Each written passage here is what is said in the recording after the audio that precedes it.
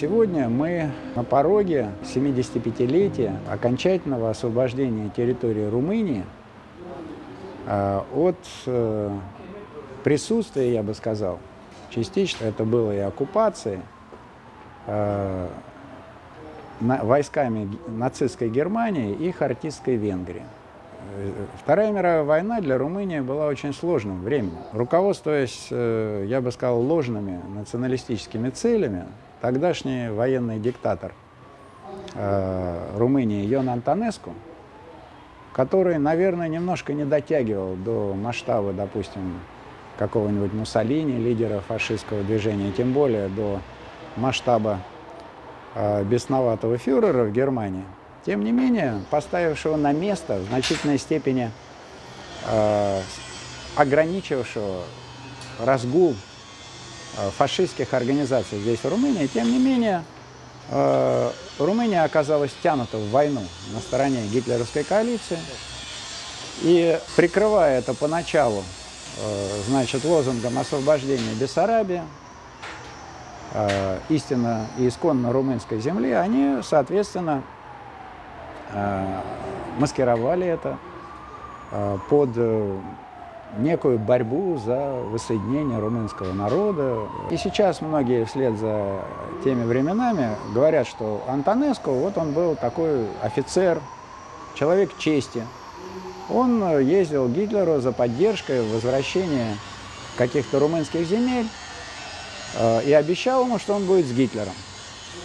И хотя Гитлер реально еще до Второй мировой, до начала, скажем, вторжения в СССР, более точно будет, обманул Антонеску, или, как сейчас сказали бы, кинул его, санкционировав так называемые два венских арбитража, которые были вроде бы как бы квазисудебной какой-то процедурой, но реально для Румынии. Они означали потерю Южной Добруджи, захваченной во время Второй Балканской войны, еще до Первой мировой, и потерю Северной Трансильвании, доброй половины Трансильвании, которая э, была включена в состав Румынии в декабре 1918 года по итогам Первой мировой войны в результате, фактически, и прежде всего, в результате развала Австро-Венгерской империи. Тем не менее, вот, значит, э, Антонеску дал этот приказ, солдаты, переходите пруд, освобождайте родные земли и так далее. Румынская армия участвовала в течение трех лет вооруженных действиях и в осуществлении оккупационной адми... Э, администрации оккупацион... Э, поддерживала оккупационный режим на огромной территории провинции Транснистрия, так называемая. Это вовсе не Приднестровье, как сейчас э, называется современное Приднестровье. Это обширный район, вплоть до Буга, который был по согласованию с Гитлером отдан под управление румын, включая там Черновицкую область, Тернопольскую область, Одесскую область. С чего начали тогда румыны? С уничтожения десятков тысяч евреев в Одессе. Румынская армия штурмовала Одессу. Чем это кончилось? Фактически Холокостом. Румыны не строили газовых камер. Вот. Здесь это называется так лукаво. Массовая депортация евреев, цыган в Транснистрию. Вот. А в действительности это было массовое избиение, прежде всего, еврейского, цыганского населения более примитивными методами. Их самих заставляли выкапывать глубокие рвы, ставили их на краю этих рвов, расстреливали очень часто небрежно, и потом по несколько дней из-под слоя земли, засып... которые засыпали тела расстрелянных, слышались стоны. Но тем не менее это было полномасштабное участие в э, нацистских преступлениях, военных преступлениях и так далее. Мы сейчас не касаемся там боевых качеств румынской армии и так далее, это все отдельная тема. Поэтому, когда мы возвращаемся вот здесь сейчас к тому, какая историческая память есть в Румынии о тех временах, она очень двойственна. Когда-то, относительно недавно, в Румынии историю э, преподавали в средней школе по учебнику «История румын». Вот. Потом, по рекомендации одного из департаментов, точное название сейчас не воспроизведу, принадлежащих э, к Еврокомиссии, то есть бюрократическому управлению Евросоюза, этот, эти учебники были изъяты, как сеющие межнациональную рознь и ненависть между различными этническими группами. Сейчас в учебниках э, Румынии сделан э, акцент на то, что э, чем меньше подрастающее, подрастающее поколение будет знать про историю, тем лучше. Тем легче будет через э, вот, современную легкую такую обработку вот, им вкладывать любые мысли в голову.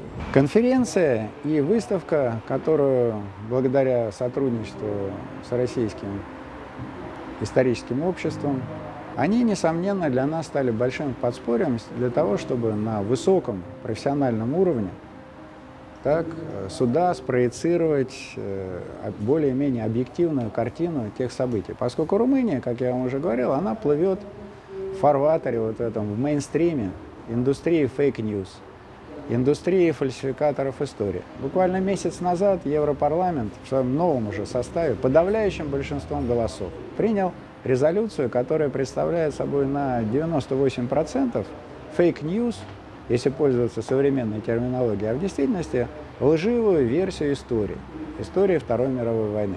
Вот чтобы мы могли авторитетно и профессионально это проецировать, опираясь не просто на декларации посольства, которые будут восприниматься как пропаганда, да, а опираясь на доклады серьезных исследователей, историков, которые приводят документальные ссылки, какие-то факты, а, опираясь на свидетельства очевидцев. Вот мы специально при, э, сюда пригласили э, руководителя ассоциации жертв Холокоста здесь, господина э, Янко Цукермана, продемонстрировать то, что было в действительности в истории, Э, при этом отдавая дань уважения и определенную, так сказать, э,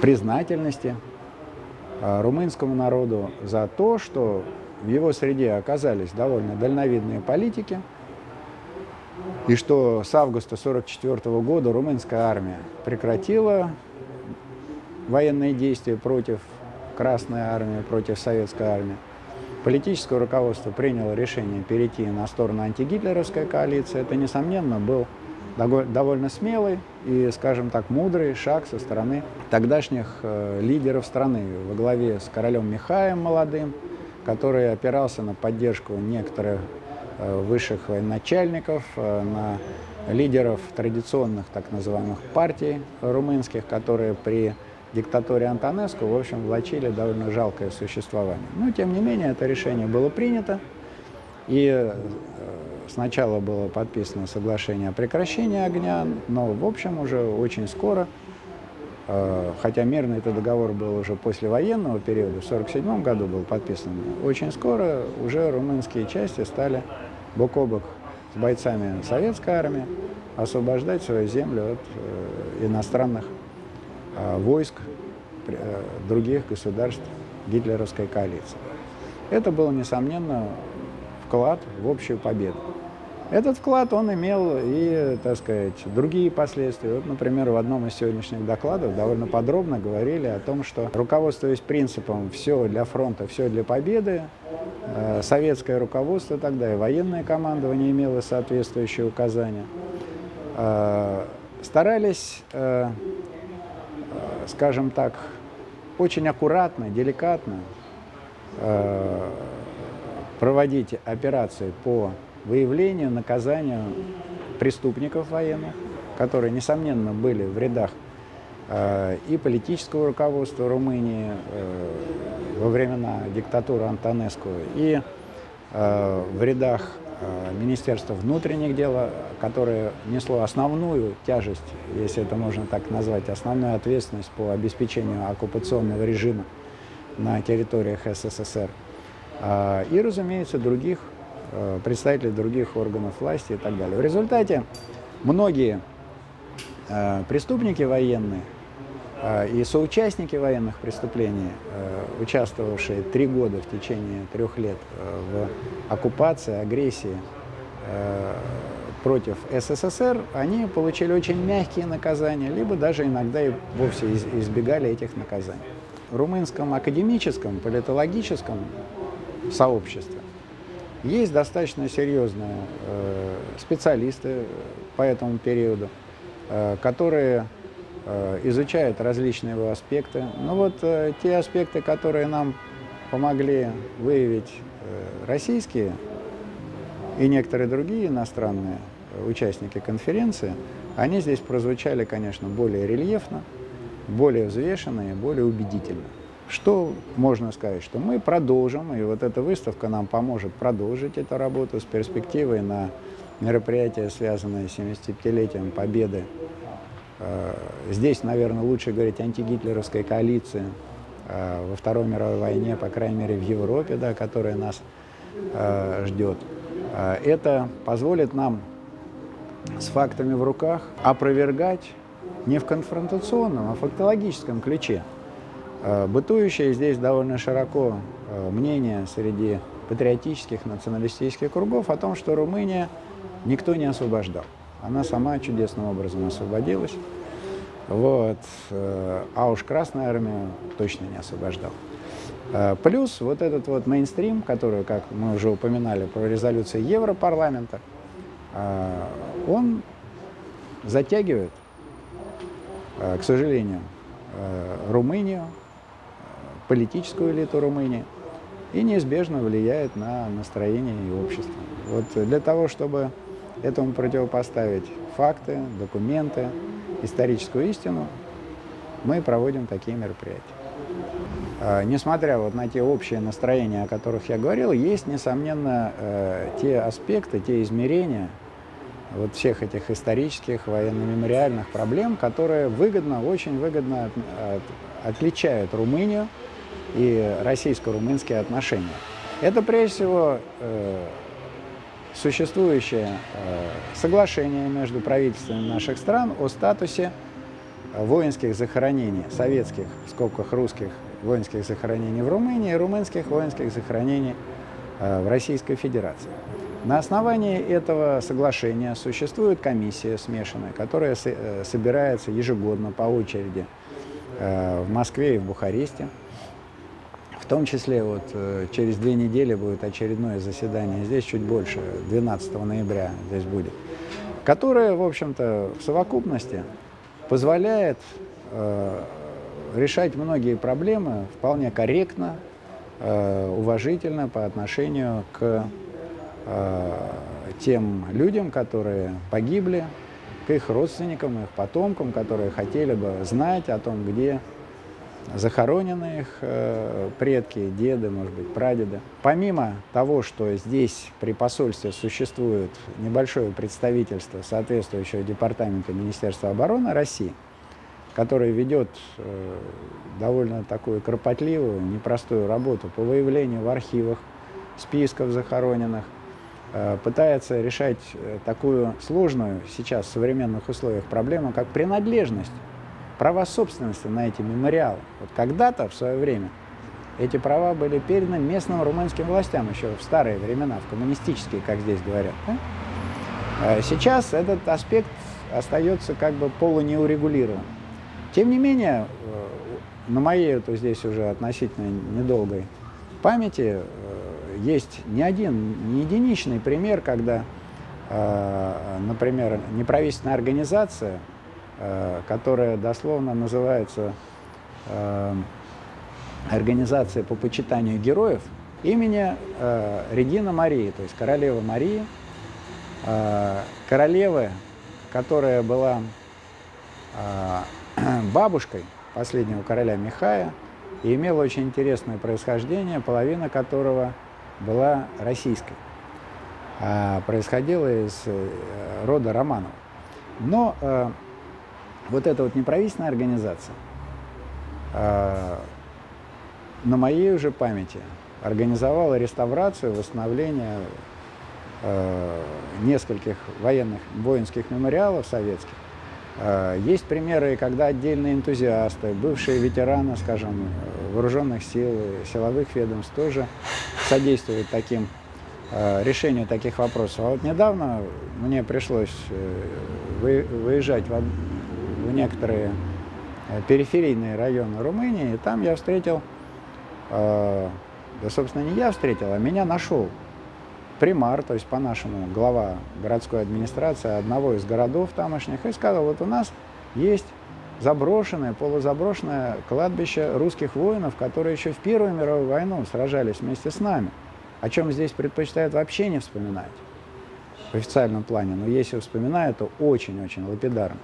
Говорит, я вот установил большой крест, но мне нужна помощь, я не знаю, как там обустроить вот надгробие, что писать там и прочее, прочее. Вот, я ему сказал, давайте обращайтесь к нам письменно, у нас есть такой э, как бы военно-мемориальный отдел посольства, вот это вот представительство э, Минобороны, и мы обязательно поможем, в чем это возможно, э, логистически, так сказать, ар в архивном плане и прочее, прочее. Вот. Поскольку э, Румыния исторически была местом множества сражений, э, славных сражений русских воинов, э, недалеко от города Факшаны, например, на красивом холме установлен в 50-е годы, уже после Второй мировой войны, румынскими скульпторами изготовленный конный, конная статуя, если хотите, конный монумент Александра Васильевича Суворова.